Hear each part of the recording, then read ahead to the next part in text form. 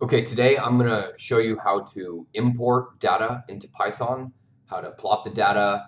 Um, we're going to do a, a, linear least squares fit uh, to fit parameters to a, to a function. Um, for example, if it's experimental data, and also do some integrals uh, with numerical data or data sets. So the, the first thing you want to do, and there's many ways to do this, but uh, for example, we, we have this example data set. Um, and what we want to do is pull this into Python. So it's just some X, Y data. And, uh, you know, they're labeled, they're, they're in columns. And so uh, this is a CSV, comma separated values. So the easiest thing to do is to have your, your Python script you're going to evaluate in the same directory as your data. Okay, so you can just start a new, for example, text file and just and just rename it uh, .py. So, so this is the script we're running. The, the data is example data. So um, here's the script. We're using Spyder. It's like a shell in Anaconda. Um, it's really nice. You'll see how we use it.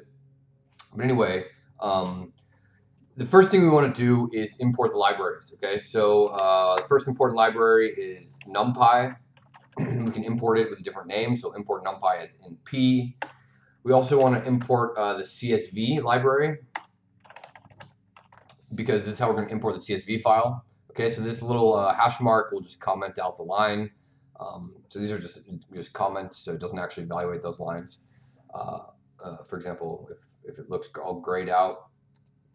Okay, so to import the data, we're going to do something that looks like this. Okay, so we need to open the file into Python. Okay, so we're going to say um, with, and then we need to use the open function in Python and then we need to say what we're going to open. So this is example data.csv. Uh, and then we're going to say uh, we're going to open it to uh, read. Okay. So we're going to open this data file and it's going to look in the directory that this script is in. So that's why we want it in the same directory.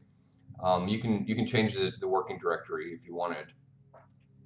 And we're going to open it as some variable i okay? So we're going to say with this file being opened to read um, as i, so it's going to import open it as like a temporary variable i. What you want to do is uh, save the data. So the raw data is going to be basically we're going to call CSV. And the function in the CSV library is reader. So this is how we're going to read the CSV file. And uh, the file we're going to read is i, right? Because we've, we've used the Python built-in library to open this file, and we've named it i. So now we're going to say with, with this function i, or with this file i, with a delimiter equal to uh, comma, because this is, uh, I was going to tell the difference between values. It, it's comma separated values. but another thing we want to do is we want to say how to save this. So we want to save the raw data as a list, okay? Because it's a list of data. So uh, we can run this and now you see in your variable explorer here, raw data is saved and it's a list, okay? And it tells you the index of these things. And uh, it's basically a one-dimensional list. Um, and then you can go in for this uh, zero index. For example, we have the um, X, the, the labels, and each one of these has, has two indices for the, the two columns. Okay, so we have our data. The type is a list, and um, the next thing we want to do is uh, convert this to something that we can do math on, okay? So we're going to do uh, example data, we'll call it. And we're going to say this is equal to uh, numpy array, so we're going to define it as a numpy array. And we're going to say this is raw data, but we're only going to take uh, the second element on. So the, the indexing starts at 0, so we say 1, that's the second element in the list. And then we're going to say what kind of data type to make it. Um, we're going to make this a float. So we're going to say numpy float. And so it's going to save as a floating value. Now look, index 0 is just the header. Index 1 is the actual data. So this is why we're starting at 1, and then we put the colon to show that you take 1 and then everything that follows after it. Okay? So this is what you see. This is the example data now. It's now floating array of floating values. And it's um, two dimensions, okay, and uh, it doesn't save the header. So this is exactly what we want. This is a, a x data and y data. Okay, so now we can separate the x data into be um, example data, and then we're just to take the first column. So to take all rows. So we put uh, the columns, you can find all, comma, first column. And we can do the same thing with the y data. We're going to say that this is uh, all the rows, but the first or the second column. Okay, so now we can save these things as individual rows or individual columns. And um, the let's plot the data to make sure we've imported it, and this is what we want. Okay, so the uh, for plotting, we want to import a new library, uh, import matplotlib. Uh, okay, this is a, a, really useful plotting. We're going to refine it a little more. Uh, pyplot inside matplotlib, so we're going to import that as plot, uh, PLT. This is a kind of a common notation. Okay, so the first thing we'll do is we're going to say, let's call this plot we just imported, and let's name a figure, and we'll say, let's call this one figure 1, and I like to call the uh, higher resolution, so we'll say, you know, 120 dpi. Okay, now the easiest way to do this is just to say plot um, the function, and then you would import your x data, your y data, and then I like to add a label, and the label will say this is the experimental data, okay? And so you can evaluate this, and now nothing happens except Spyder has this great little um, feature here. You can click on the plots window, and this is the data. Okay, so this is exactly the raw data we imported. It just plots everything. Um, I'll show you some cool things you can do with plot just to make it easier. So we can add a title. So we can do plot title, and we can say this is going to be example data. So this is a cool way. So look, I can run it. It adds nice data, or, or um, and you can refine the text and everything, but you can look in the matplotlib to figure out how to do this. I also like to add labels for the axes so we can use these plots. So for example, X label. Now in our data set, we already have X labels. So in this raw data, look, the labels for the columns were the header of the uh, imported data. So all you need to do is you need to call the raw data. Let's say index 0 has the headers, and index 0, 0 is the x data, index 0, 1 is the y data header. And so let's do that. Let's just call them directly so we don't, so, and if you look at these, look, these are strings, x data, string, y data, and string is what you want to input for labels. So these are already set up to be used directly.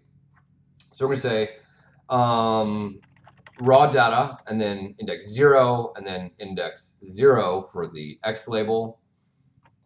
And then we'll say raw data, and then for the Y label, we'll say 0, 1. Okay? So this is going to automatically put these in um, plot labels directly from our experimental data. And we just have these carets to show that it's, you know, meters squared or nanometers to the minus 1. But if you wanted to, Python is able to uh, use LaTeX type um, notation. You know, you you can look it up uh, for matplotlib how to how to make subscripts and fractions, but you can add LaTeX uh, um, code to, to have it automatically put that as a subscript or, or a minor script. So anyway, it's not critical here. You can also do uh, plot uh, limits. Okay, so we'll say you want to do x from zero to three and you wanted to do uh, your y limit from 0 to 2, okay? So that's totally fine too. Oh, um, I put a little, so look, when I, when I misspelled this error here, when you run it in the shell, it shows you, you know, there's no such attribute as ym. That's because I forgot to do y limit. So this uh, console will tell you everything that's going on. Okay, so now we've got it. You can restrict the plot. Um, we don't need that, so if you want little features to take away, just put a little hash mark in front of them. It'll comment out that line, so it'll take away. Another useful thing for plotting data is um, the Y scale, for example. Uh, the default is linear, but you can plot it on a log scale if you wanted. So uh, here we can plot log, uh, the Y values on a log scale. Um, but the default, if you don't put anything, is linear, or you could directly say it's linear. So you can do x scale and y scale as log or linear. Um, So these are just nice features to have. So I like to put all of these things in because you can just copy this directly and use it over and over again in all your code. It's just super easy. Um, so that's how we plot the data. Okay, so now we've got this experimental data set and uh, we want to now fit this data to a function. Okay, so let's define the function. Okay, so the function we want to define is, uh, we would say define, def, and then let's, let's label the function. Okay, so we're going to label this function. Um, I'm going to move me over here. And we're going to label it, uh, we'll just call it func. Okay, and we have the x variable and then any arguments. Okay, so let's put one argument. This is the parameter we want to fit. We'll say b. So these are inputs. And then we put a colon, and then look, anytime it's indented, this is going to be within this function. So for example, with raw data was indented, so everything um, inside this is going to pertain to the with. And uh, the function, it's indented, meaning everything we define that's, that's integrated here until we type return is going to be defining the function. So you could do um, all sorts of things. You could do a plus b, uh, you know, c equals a plus b, and then we want to uh, return C, and this will output C, but you can have it do a bunch of math in between and then output something. Or you could have it output two things, C and A, and it'll give you two variables, okay? Um, but what we're to do is just have it define one thing. So we're to have it return, and uh, we'll do a simple function. Um, we'll do uh, A0 times exponential. So for exponential, you can do numpy.exp and uh, it'll be minus b times x. So there's a simple exponential function plus a1. Okay, so let's say we have this function and b is the parameter, and a0 and a1 are known constants. Okay. Um, so you also want to define any constants. Usually we're working with things like, you know, Planck's law or uh, you have, you know, Boltzmann constant or something, which is fixed. So you don't really need it as a parameter. Um, so let's say you had that case, you can just define those externally because they're always, they, they don't change. So we'll say A naught was 2.5. In this case, units have to be watts, meters to the minus 2, nanometers to the minus 1. When I write down and I define constants, I always like to note the units, okay? And you should actually always write here what your inputs are. So what units and output are, are is this in? So we want to input x in nanometers and B in nanometers to the minus 1. Okay, and this is going to output uh, watts per meter squared nanometer. Okay, and this will be output is going to be watts meters squared uh, nanometers to the minus 1. Okay, so then we keep track of all of our units this way. So we'll define A0 and A1 Oops, sorry. And uh, we'll say this is 0.5. Okay, so now we want, uh, we've got our function. Let's, let's plot the function. So we can just add it to the same plot. And so without defining a new plot figure, um, we can, if we just type this plot function again, it'll just add it to the existing plot. And so the x data, let's, uh, well, first we need, to, we need to generate our data, okay? So we need to say the um, function data equals, so let's say the function, and it tells us we need to evaluate it at x and b. So the x values to evaluate it at is x data. Let's just evaluate it at the x data points that are in the example data set. So it'll just import, it'll just evaluate it at, uh, at each one of the points in this array. And let's just pick a value for b. We'll say 2. Um, we don't know what b is right now. You can also, if you didn't want, if you didn't have a data set of x, you can generate a data set. So you can do numpy uh, uh, a range, you know, something like this, and then you could type, and it'll, it'll generate an array, or you could type uh, linspace, and this will help, this will um, generate uh, an array. You can look up how to use these functions, but we already have an X data set, so this is fine. So um, this is our data. We evaluated at the X data points, so let's add it to the plot. So we have X data, Y data, I'm sorry, the Y data is going to be uh, function data, and then let's add a label to this is going to be our uh, model. And then since we're going to add to the same plot, it's nice to add a legend. Um, so we'll add a legend, and let's let's plot this and see what it looks like. So here you go. It just adds it to the same figure, and then we've got a label now that says this is the model, this is the experimental data. Um, we can change it. This value, let's see if b equals 0.5. It looks maybe something like this. So this is the parameter we want to fit. What is b, okay? And so let's do a curve fit to the data. Okay, so to do a curve fit, we want to import a new library here to do the curve fitting. And this is um, SciPy. Okay, so from SciPy has all sorts of great mathematical, uh, scientific computing package. It says right here. So from SciPy, we want to import. Um, okay, actually, we'll, we'll refine it from SciPy optimize. Okay, so this is a specific library in SciPy. We want to import um, curve fit. Okay, so this is a curve fit function. You can Google SciPy curve fit to get all the details, but I'll show you how to do a basic one here. Um, but the idea is it it gives you two outputs. Okay, and so we have curve fit, and we want to do curve fit of our function and what it's going to do, it's going to curve fit the function. We'll say, here's the x data we're going to fit. Here's the y data we're going to fit. And we're going to we need to put some bounds on the uh, fit. So the bounds are going to be, um, let's fit it if you look at this plot between 0 and 4. Okay, so we'll do 0 to 4. And um, what it's going to do is it's going to take the function, it'll treat this first uh, argument as a variable, so, that, so it's going to fit for this first argument uh, with the x data, and then it's going to uh, take all the preceding um, values as parameters to fit. Okay, we only have one parameter b, so it'll just fit b. You could have had a naught be one of the parameters, and it would fit b and a naught. Um, but here we're just fitting for one parameter, um, and uh, yeah, essentially we want to do curve fit, and now we want to save it. So um, it outputs, curve fit outputs two things. So it outputs the optimized parameter, so we'll call P optimize, as well as the um, covariance matrix for the uh, for the fit. So this tells us about the error. So we'll say P covariance. Okay. So if it if if a function outputs two things, you can just define both of those things with one line by just putting a comma between them. Just as if we had this function return two things. What if it returned this value and this value?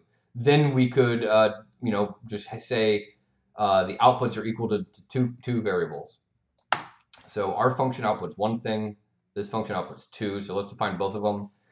Look, when we're plotting, if you want to work with errors, um, errors are just going to be the square root of the diagonal of the covariance matrix, okay? So this is a good way to estimate error.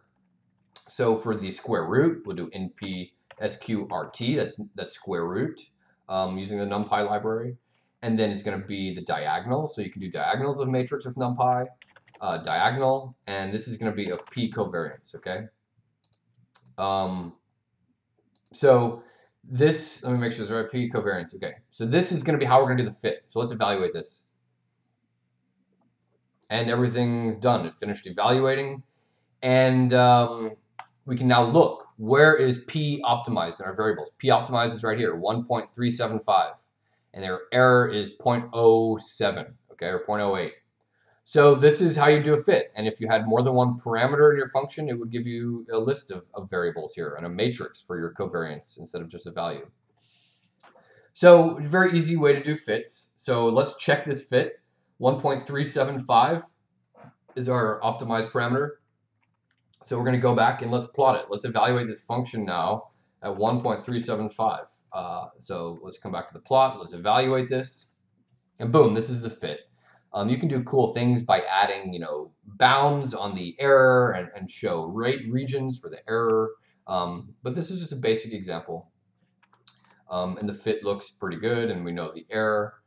So uh, the last thing we want to do to work with an experimental data set is maybe do some numerical integration.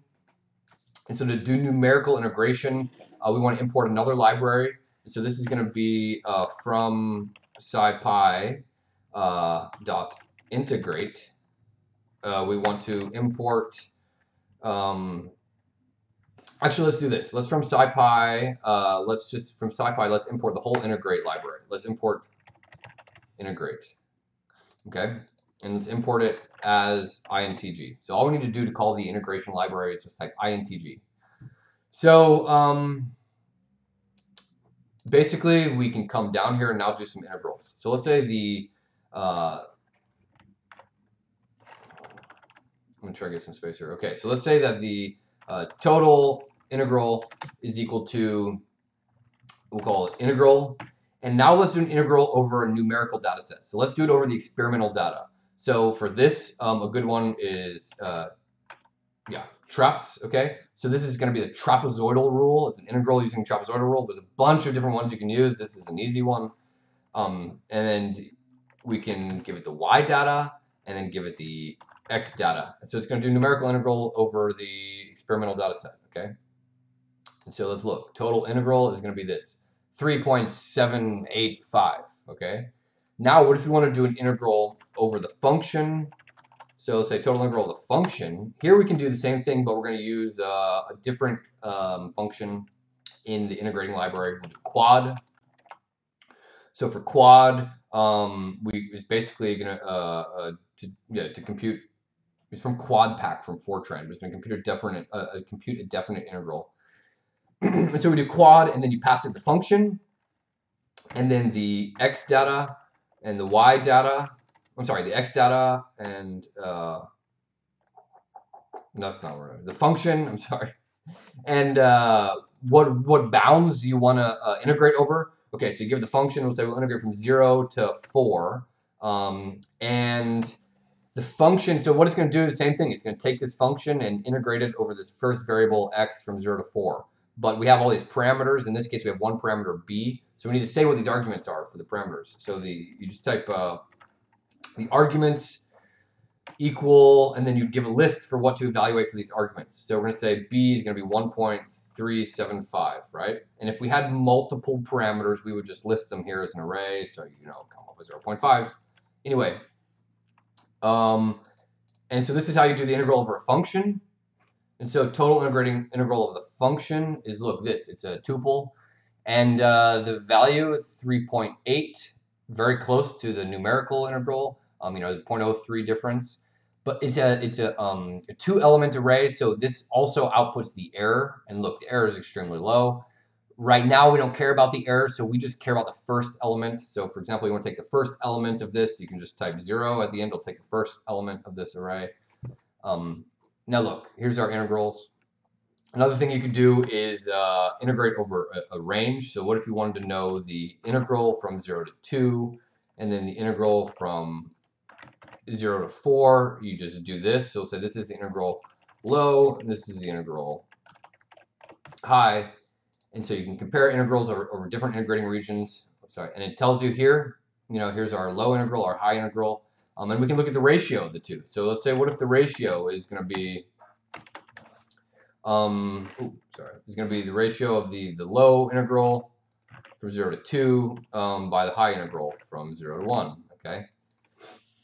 And you see uh, where's the ratio pops up? It's like 0.7, okay? So it's saying like 70% of it is, you know, from 0 to 2. Um, anyway, if you keep track of units, it's very easy to, to, to, you know, you should write what the output here is for the total integral, right? So for example, this, uh, the function is in watts per meter squared nanometer, and we're integrating over um, nanometers, okay? So the output here is gonna be watts per meter squared. And so this is a power density, for example. And that's how you do it. So this is how you import data, plot the data very easily, um, you can use this for experimental data. You want to fit it to a curve and do some numer uh, numerical integrals or integrating over integrals over functions. And um, yeah, so I hope you enjoyed.